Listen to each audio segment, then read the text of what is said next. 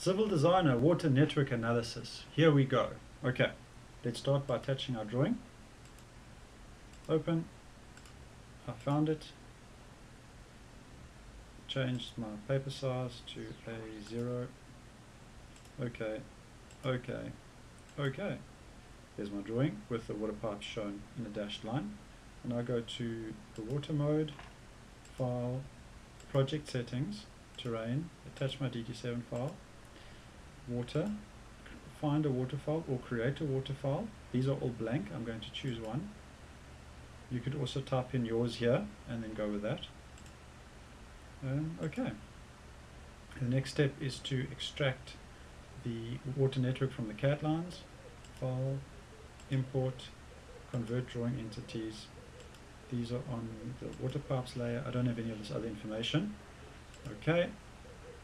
Zoom in there we go. There's my network now in Civil Designer the nodes are the circles and the links are the, the lines. Alright so I now need to assign a supply node. You could have more than one. I'm just going to choose this one over here. Click on it data node and I'm going to set the preset pressure it's my supply node to the residual pressure at whatever that node is. And I happen to know that it's 5.8 bars or 58 meters Okay. And for ease of identification, put some numbers on these nodes. Nodes, I'm going to change the color to yellow. I don't want a text box. I want this to be at the top right corner and I want to show the node ID. Okay, so here I have a number of nodes, each numbered, and this is where I would assign flow. So I'm going to go ahead and assign flow to a couple of random nodes just for illustration purposes. You can do it a number of ways. You can either click on the node, so let's say for instance node 9, uh, data node, you see that node 9 is identified, and assign a preset demand here. I'm going to go with one node, uh, I'm going to go 0.6 liters per second, which is quite a bit.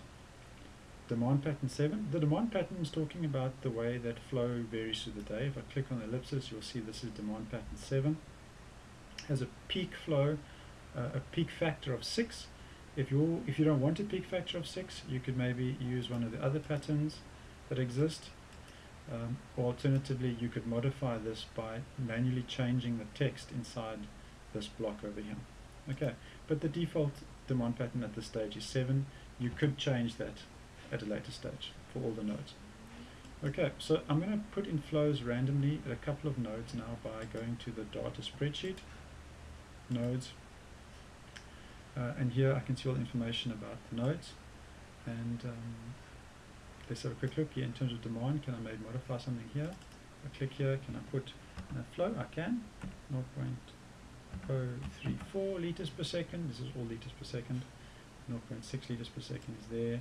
And maybe let's go with um, 4 liters per second. Now remember 4 times 6 is going to be a big number, so we can expect some big flows in the system.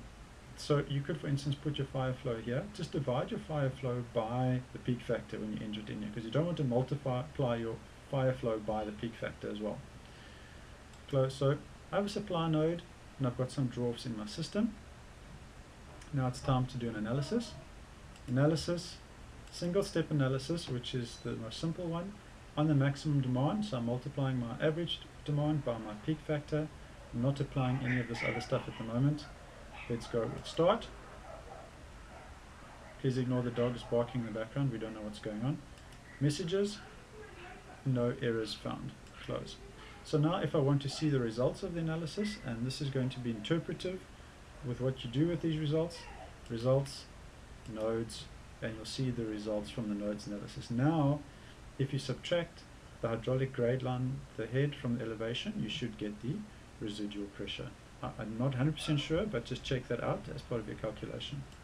For the pipes, we have the same story here. You have velocity in the pipes as well as head loss and gradient.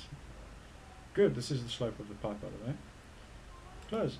And uh, that really, if you've printed that out, saved it to Microsoft Excel, done all the calculations and you find that your residual pressures are within range, you have successfully achieved the objectives of your design. Um, if not, you need to go back and either change pipe diameters, demands, um, all the variables that you might think of uh, that will get your system to work effectively. Thank you for watching. I hope you found it useful.